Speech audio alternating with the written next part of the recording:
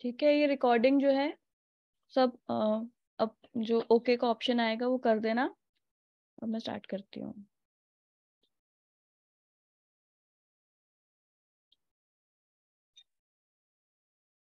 ठीक है, अब हम आज का टॉपिक पढ़ेंगे। आज हमारा ये चैप्टर खत्म हो जाएगा, आयुर्वेद के मौलिक सिद्धांत। अब आयुर्वेद के मौलिक सिद्धांत में हम पहले मौलिक सिद्धांत का मतलब देखेंगे क्या होता है। मौलिक सिद्धांत जो वर्ड है मौलिक वो किससे बनाए? मूल वर्ड से बनाए। ठीक है? तो मूल क्या होता है? किसी भी चीज़ का बेस जो होता है कोई भी चीज़ की फाउंडेशन जो कहते हैं ना अब हम कहते हैं घर किस पे बनता है? तो हम कहते हैं ना घर एक फाउंडेशन पे बनता है तो वह मूल है या फिर आ, कोई प्लांट है तो उसकी जो रूट्स होती हैं उसके ऊपर वो प्लांट टिका हुआ होता है ना तो वो उसका मूल होती है रूट्स को मूल कहते हैं। तो मूल क्या होता है? उस मूल से ही मौलिक सिद्धांत बनता है। मतलब जो ऐसे बे, बेसिक या फंडामेंटल प्रिंसिपल्स हैं जिसके ऊपर हमारा आयुर्वेद जो है टिका हुआ है वह मौलिक सिद्धांत होते हैं। अब तुम्हारे को जब अगर ये मौलिक सिद्धांत आयुर्वेद के मौलिक सिद्धांत ये काफ़ी इंपॉर्टेंट टॉपिक है ये दस नंबर में आ जाता है। तो तुम्हारे को पहले क्या करना है? अगर तुम्हारा क्वेश्चन आता है कि आयुर्वेद के मौलिक सिद्धांत लिखिए तो तुम पहले सबसे पहले सिद्धांत की डेफिनेशन लिखोगे फिर ये स्टार्ट करोगे। ठीक है? अब मौलिक, अब फिर तुम उसको एक्सप्लेन करने के लिए मौलिक सिद्धांत बता दिया क्या होता है। उसके बाद तुम ऐसे भी बता सकते हो कि जैसे कोई भी प्लांट होता है, कोई भी हमारा वृक्ष है, उसकी जो जड़ें होती हैं, उसे मूल कहा जाता है क्योंकि उसके ऊपर सारा हमारा हमारा पेट टिका हुआ या वृक्ष जो है टिका रहता है, उसके ऊपर ही उसका जीवन व्यापन होता है। उसी प्रकार आयुर्वेद जिन सिद्धांतों के ऊपर आधारित है, उन्हें मौलिक सिद्धांत कहते हैं। ठीक है, अब मैं इसकी डेफिनेशन पढ़ती हूँ। मूल को लक्ष्य बनाकर जो सिद्धांत बनाए जाते हैं, वह मौलिक सिद्धांत हैं। मतलब जो उसके बेस को लक्ष्य बनाकर सिद्धांत मतलब कोई भी एक थ्योरी हम जो बनाते हैं, उसे मौलिक सिद्धांत कहते हैं। मूल किसी पदार्थ के उस भाग को कहते हैं जो सर्वप्रथम अस्तित्व में आए एवं सदैव उसकी उपस्थिति बनी रहे। अब मूल क्या होता है किसी भी चीज़ का? एक हमने आ, एक हमने प्लांट लिया है अब उसका मूल क्या होगा? ये हमारा प्लांट है हमारा ट्री है इसका मूल क्या है? ठीक है? तो मूल किसी पदार्थ के उस भाग को कहते हैं जो सर्वप्रथम अस्तित्व में आए। अस्तित्व मतलब क्या होता है? एग्जिस्टेंस ठीक है? तो सर्वप्रथम मतलब इसका एग्जिस्टेंस सबसे पहले था, वही उसका मूल होता है, ठीक है? फ़र्स्ट जो इनिशिएट होता है मतलब जिसके थ्रू जो हमारा पूरा प्लांट उगा है, वो क्या था? उसका मूल था ना, सबसे पहले उसकी रूट्स डेवलप होती हैं। ठीक है? तो सर्वप्रथम जो अस्तित्व में आए और उसके बाद नेक्स्ट पार्ट क्या कहा है डेफिनेशन में? सदैव उसकी उपस्थिति बनी रहे। मतलब कई बार ऐसा होता है ना कि प्लांट ऊपर से तो डेड हो गया, पर उसकी रूट्स वायबल हैं अभी भी, ठीक है? फिर नेक्स्ट टाइम क्या हुआ? नेक्स्ट टाइम दोबारा से स्प्रिंग सीज़न आता है और वो प्लांट्स रिजुविनेट कर जाता है। मतलब दोबारा से वो प्लांट ग्रो करना स्टार्ट हो जाता है। तो क्यों स्टार्ट हो गया था वो? क्योंकि उसकी मूल अभी तक अस्तित्व में थी मतलब मूल अभी तक बनी हुई थी। तो क्या बोला है यहाँ पे? मूल किसी मूल किसी पदार्थ के उस भाग को कहते हैं जो सर्वप्रथम अस्तित्व में आए एवं सदैव उसकी उपस्थिति बनी रहे। मतलब उसकी उपस्थिति बनी रहनी चाहिए हमेशा। तो इसका रिलेशन आयुर्वेद से कैसे हुआ? कि जो आयुर्वेद के ऐसे प्रिंसिपल्स हैं जो हमेशा आयुर्वेद के होने से पहले से भी वो प्रिंसिपल्स वैलिड थे। मतलब अब जैसे हम इसमें देखेंगे तो उसमें क्या होता है, त्रिदोष है। तो हम, ऐसा तो नहीं है कि अगर जिस दिन, जिस टाइम पे हमारा आयुर्वेद का अवतरण हुआ, उस टाइम पे हमारे बॉडी में त्रिदोष डेवलप हो गए। नहीं, ऐसा तो नहीं हुआ। जिस टाइम पे ह्यूमन डेवलप हुआ था, उसके अंदर वात, पित्त और कफ ऑलरेडी थे ना। ठीक है? ऐसा तो नहीं हुआ कि जिस टाइम पे हमने आयुर्वेद पढ़ना स्टार्ट किया जिस टाइम पे प्रीति या जिया ने आयुर्वेद पढ़ना स्टार्ट किया, उस टाइम पे उनके अंदर वात पित्त कफ डेवलप हो गए। नहीं वात पित्त कफ तो ऑलरेडी से थे हमारी बॉडी में। क्या नहीं था? हमारे को उनके बारे में नॉलेज नहीं था। तो क्या है? ऐसे ऐसे सिद्धांत, ऐसे जो प्रिंसिपल्स हैं, जो पहले से ही एग्जिस्ट करते हैं, और वो हमारे आयुर्वेद के मौलिक सिद्धांत रहेंगे। ठीक है? सर्वप्रथम अस्तित्व में आए एवं सदैव उनकी उपस्थिति बनी रहे। और ऐसा भी नहीं कि उनकी उपस्थिति खंडित हो जाए मतलब वो बाद में ऐसा नहीं है कि अगर हम आयुर्वेद पढ़ना बंद कर देंगे तो हमारे बॉडी से वात पित्त कफ निकल जाएँगे, वो भी बने रहेंगे।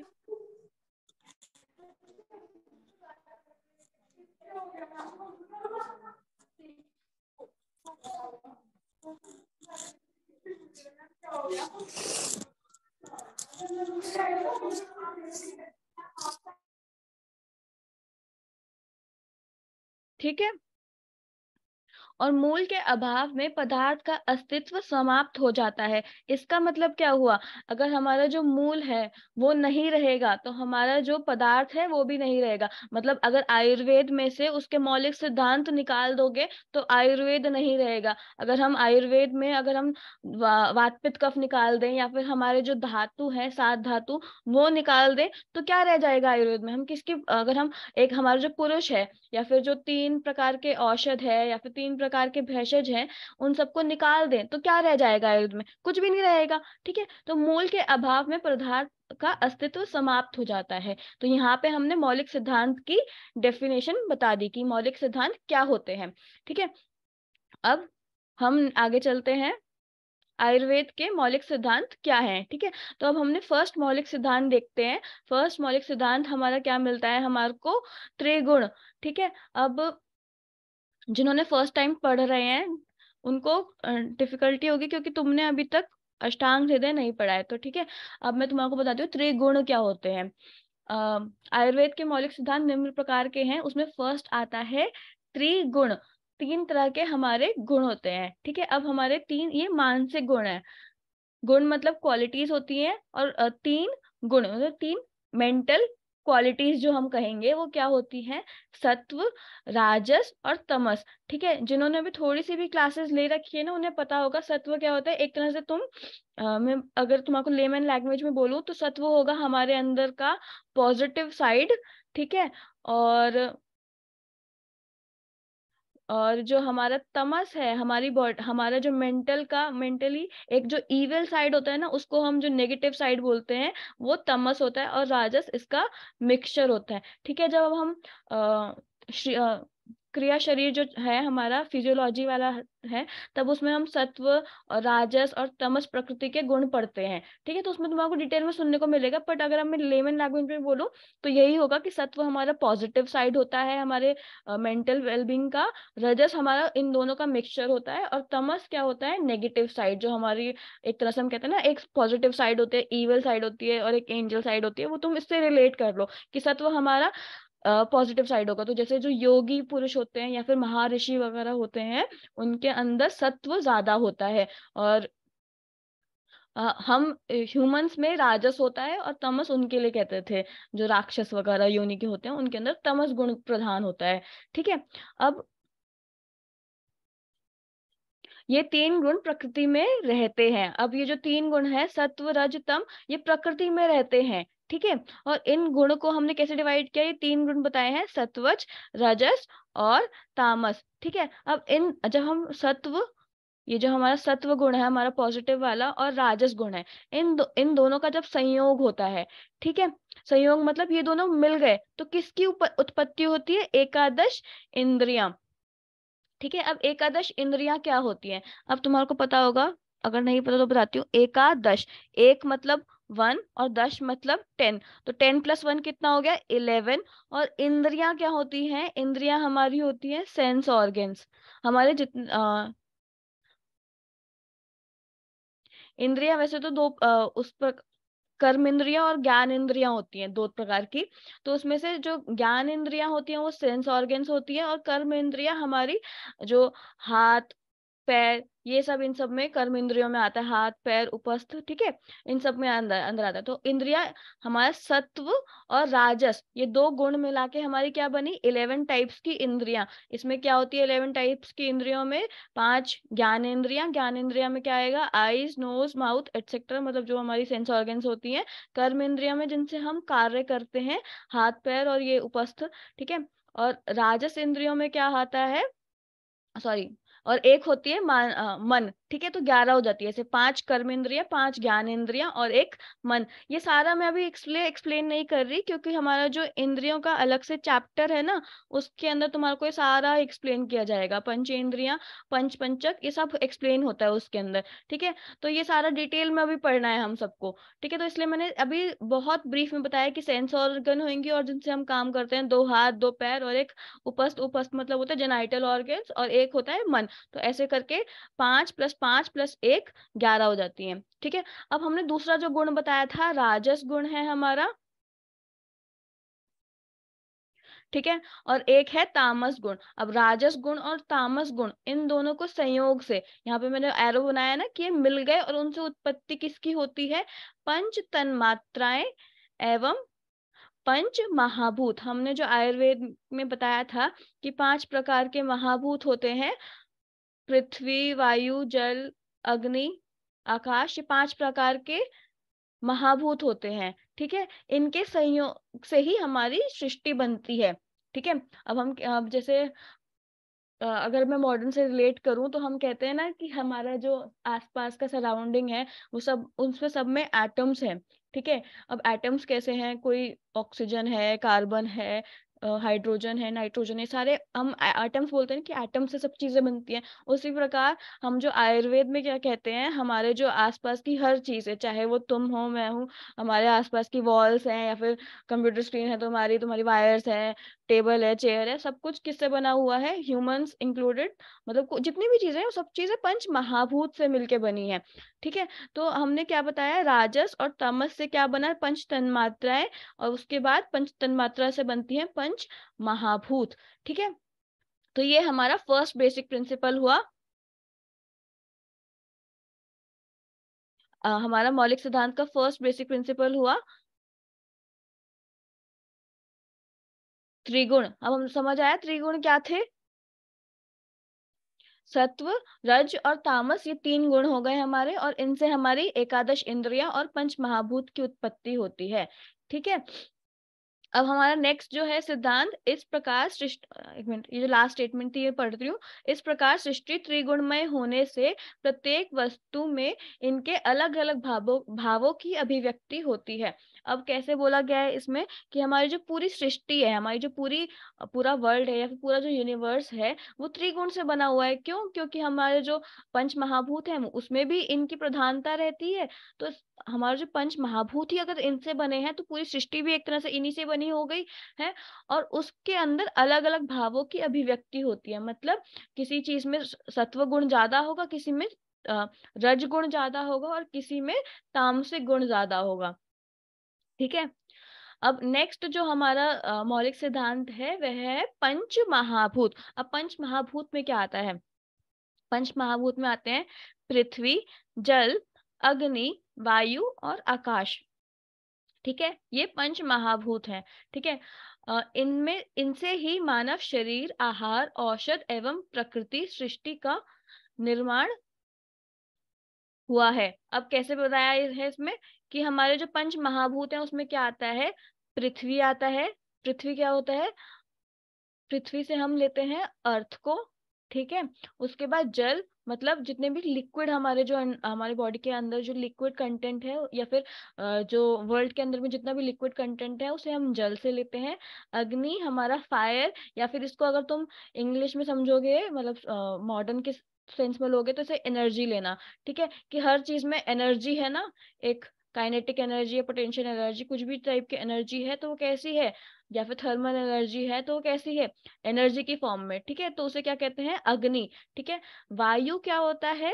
वायु की हमारे जो बॉडी में जब लेते हैं कि कोई कंडक्शन करने की कैपेसिटी है, हमारी जो नर्व कंडक्शन होती है, वायु क्या होता है? वायु का गुण क्या होता है? चल गुण, ठीक है? तो हम देखते हैं ना, वायु हमेशा चलती रहती है फ्लो करती है तो जिसमें भी जिसमें मूवमेंट होती है तो हम उसे कहते हैं वायु।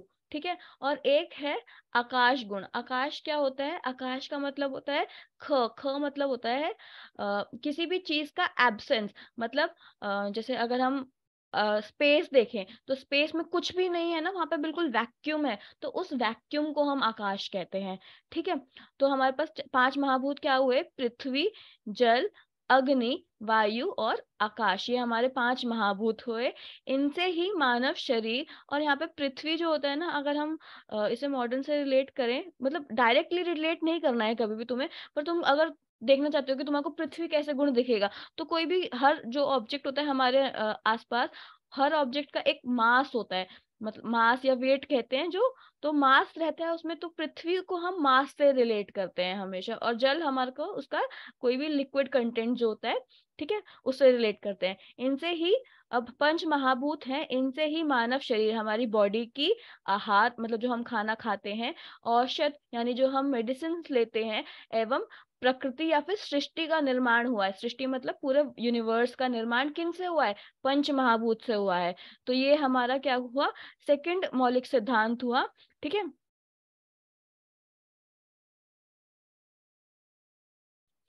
ठीक है? अब इसमें बता रखा है एग्ज़ाम्पल गिवन है इसमें कैसे? क्योंकि हमारा जो दोष है, हमारा जो वात, पित्त और कफ दोष है, इनकी भी उपत इनकी भी उत्पत्ति किससे हुई है? वायु पंच महाभूत से हुई है। तो वात की कैसे बता रहे हैं यहाँ पे? वात जो होता है, वायु और आकाश से निर्मित होता है, पित्त जो होता है, अग्नि से निर्मित होता है, और पृथ्वी सॉरी कफ जो होता है वो पृथ्वी और जल से निर्मित होता है ठीक है? अब हम जो तीन गुण लेते हैं हमारे तीन दोष लेते हैं हमारी बॉडी के वात पित्त और कफ उसमें कैसे हम समझेंगे कि, कि कैसे ये महाभूत कैसे आए ठीक है? तो हम वात को देखते हैं हम वात को जब हम देखते हैं वात को हम वायु से रिलेट करते हैं ठीक है?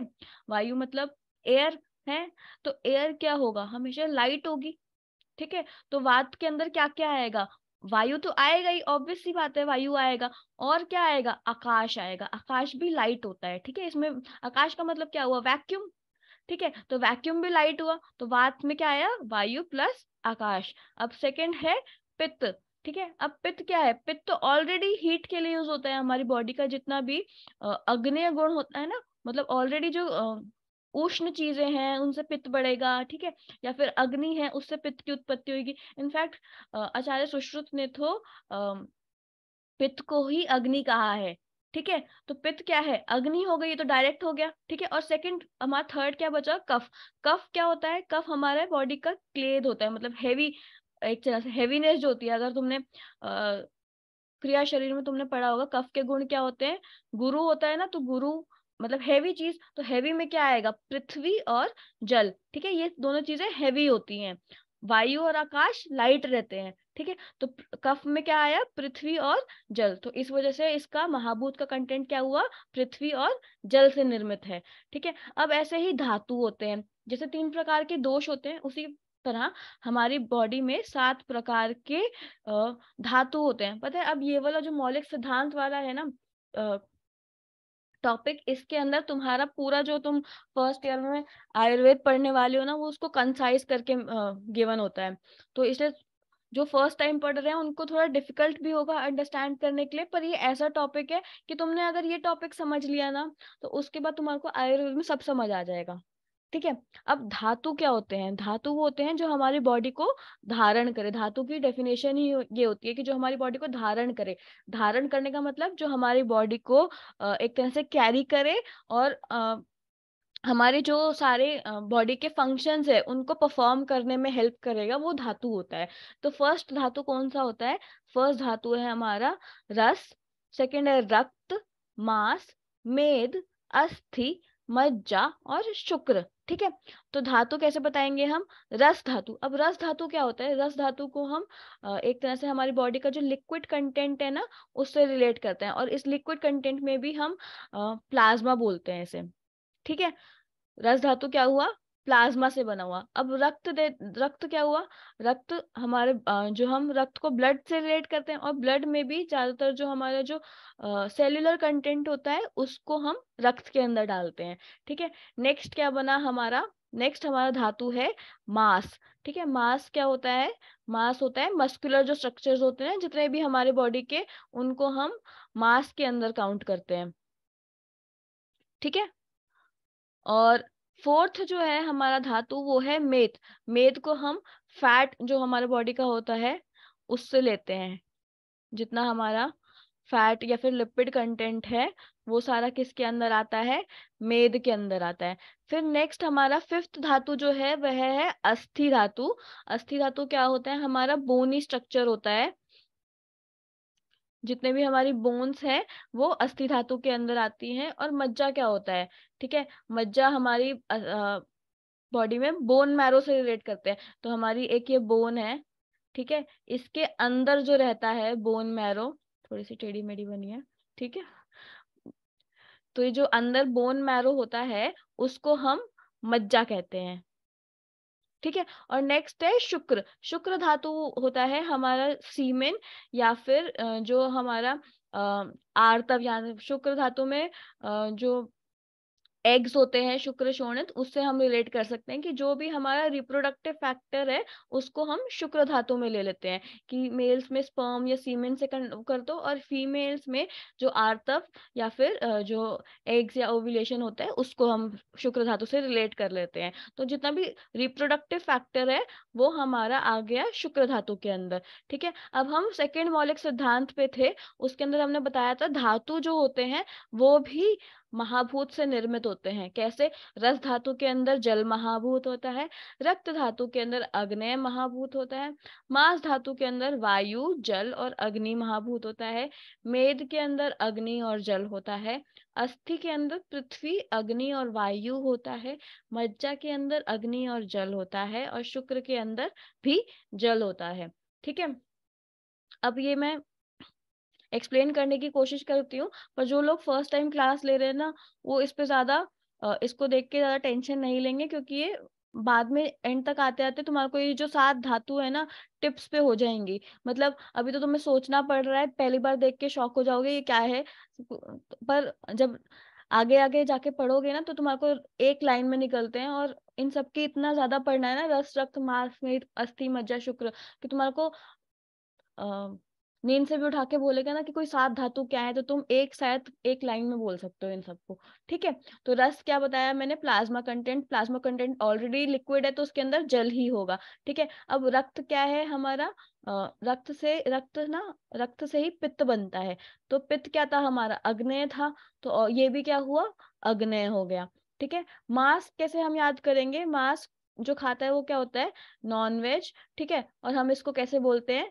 ये है वी ए जे वेज अब से वेज की स्पेलिंग हम कैसे बोलनी है? V A J V E जी नहीं बोलेंगे. वी ए जे तो मास मास का ऑपोजिट वेज तो वेज क्या है? वी ए जे वायु अग्नि और जल ठीक है? अब मेद क्या होता है? मेद हमारा फैट है. फैट में क्या आया? अग्नि और जल ठीक है? अब अस्थि कैसे याद करेंगे? ये वाला याद करना है अग्नि और जल, ठीक है? अब हम अस्थि कैसे याद करेंगे? मैंने बोन बनाई थी एक, ठीक है? उसके अंदर क्या था हमारा? बोन मैरो, ठीक है? बोन मैरो के अंदर क्या बनता है? ब्लड, बनता है ना ब्लड, ठीक है? तो हम कैसे याद करेंगे? अगर बोन्स का स्ट्रक्चर पढ़ोगे अभी एनाटमी में तो तुम्हें पता चलेगा कि बोन एक हार्ड स्ट्रक्चर है है ना हार्ड?